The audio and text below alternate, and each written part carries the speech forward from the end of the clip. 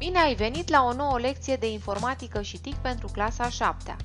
Astăzi vom descoperi împreună cum putem implementa în limbajul de programare C++ algoritmi ce rezolvă probleme întâlnite de noi în viața de zi cu zi.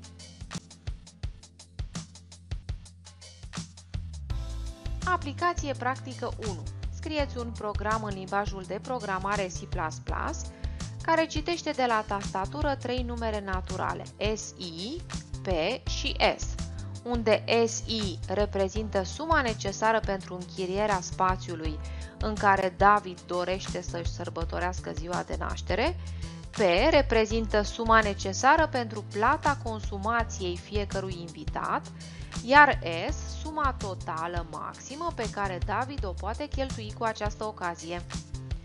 Programul va afișa pe ecran numărul maxim al prietenilor pe care David îi poate invita la petrecere. De exemplu, dacă S egal cu 220, P egal cu 76 și S egal cu 1500, atunci, în urma execuției programului, pe ecran se afișează valoarea 16. Restricții și precizări SI, P și S sunt numere naturale nenule cu maxim 9 cifre fiecare.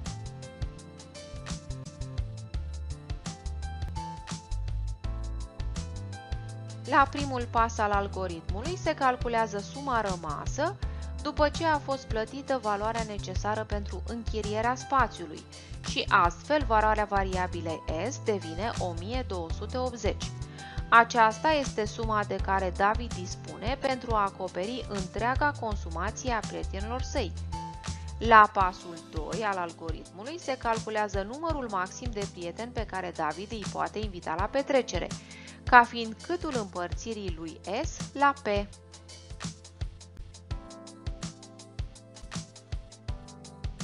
În programul principal se declară variabilele întregi SI, P și S. Cu ajutorul instrucțiunii SIN se vor citi de la tastatură valorile corespunzătoare variabilelor SI, P și S. Se calculează în variabila S suma rezultată după ce a fost reținută chiria spațiului în care se desfășoară petrecerea. Se declară variabila întreagă NI și I se atribuie numărul maxim de prieteni pe care David îi poate invita la aniversarea zilei sale de naștere, ca fiind câtul împărțirii lui S la P. La finalul programului, cu ajutorul instrucțiunii cout, se afișează valoarea variabilei NI, precedată de un mesaj informativ.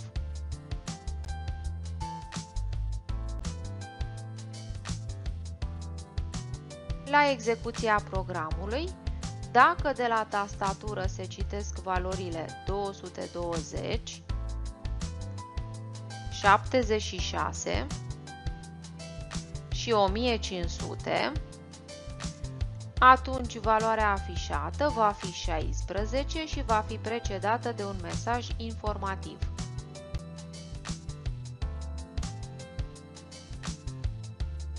Aplicație practică 2.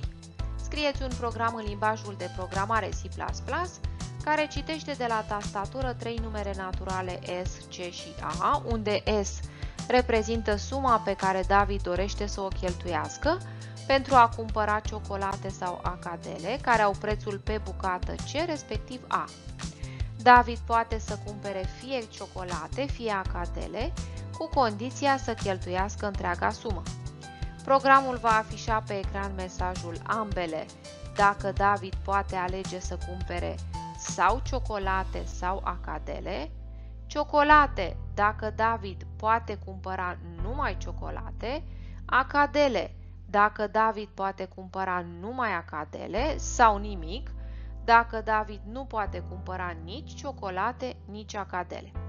Restricții și precizări S, C și A sunt numere naturale nenule, cu maxim 9 cifre fiecare.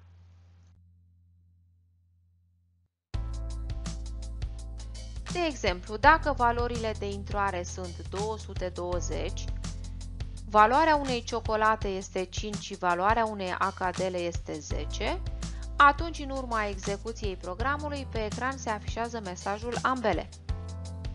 Dacă S egal cu 225 o ciocolată costă 5 lei și o acadea 10, atunci în urma execuției programului pe ecran se afișează mesajul ciocolate. Dacă S220 o ciocolată costă 3 lei, o acadea costă 10 lei, atunci în urma execuției programului se afișează mesajul acadele, iar dacă S220 C egal cu 3 și A egal cu 7, atunci în urma execuției va fi afișat pe ecran mesajul nimic.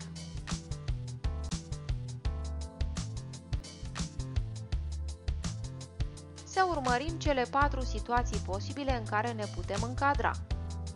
Dacă suma S se împarte exact atât la valoarea C cât și la valoarea A, ne vom afla în situația 1, când S egal cu 220, C egal cu 5, A egal cu 10.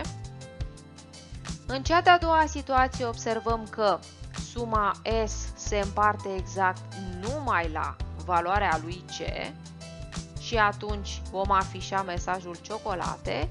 În cea de-a treia situație vedem că 220 se împarte exact numai la A, iar în cea de-a patra situație observăm că suma S nu se împarte exact nici la valoarea A și nici la valoarea C și atunci mesajul afișat va fi nimic.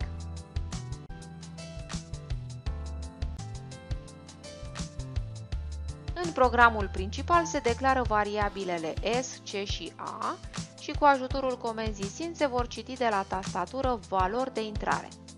Se utilizează structura alternativă în cascadă, care va identifica în ce caz din cele patru menționate anterior se încadrează valorile de intrare. Dacă valoarea variabilei S se împarte exact atât la valoarea variabilei C cât și la valoarea variabilei A, atunci mesajul afișat de program cu ajutorul instrucțiunii Cout este ambele. În caz contrar, dacă valoarea variabilei S se împarte exact numai la valoarea variabilei C, atunci se afișează mesajul ciocolate.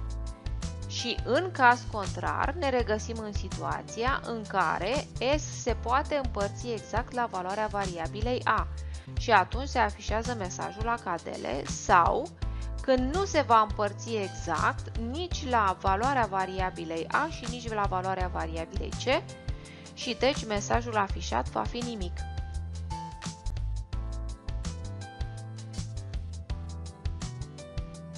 Să observăm ce se întâmplă la execuția programului prezentat anterior pentru cele patru situații posibile. În prima situație mesajul afișat este ambele, pentru a doua situație mesajul afișat este ciocolate, pentru a treia situație va fi acadele, iar pentru ultima situație va fi nimic.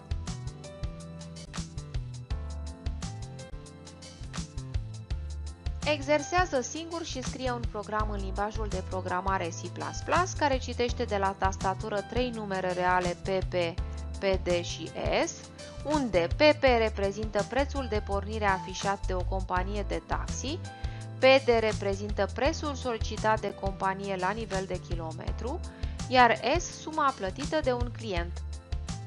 Programul va afișa pe ecran lungimea cursei efectuate de către client cu respectivul taxi. Restricții și precizări PP, PD și S în numere reale nenule, cu maxim 9 cifre fiecare. Dacă, de exemplu, PP egal cu 3, PD egal cu 2.5 iar S egal cu 20.5, atunci, în urma execuției programului, pe ecran se afișează valoarea 7, ce reprezintă numărul de kilometri parcurși în cursă.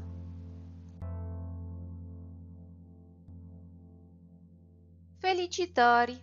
Astăzi ai învățat cum poți implementa algoritmi într-un mediu de programare în scopul rezolvării creative a unor probleme având caracter aplicativ.